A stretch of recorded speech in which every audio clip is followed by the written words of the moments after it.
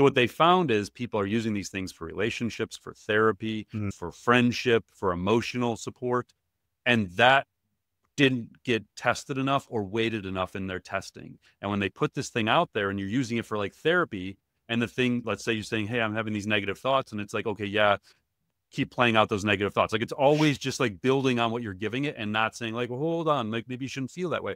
So I think they actually ran into a bunch of safety issues related to some of these things because the model was just encouraging people, no matter what their thoughts were, they were never telling them they were wrong, never mm. telling them maybe to think about a different perspective. So yeah, I mean, this is I could talk for an hour on this one. Like it's so fascinating on so many levels, but I think it does highlight the increasing importance of who the people are and which labs are building these technologies that are going to have a massive impact and already are on society. I mean, they have 700 million users of ChatGPT weekly.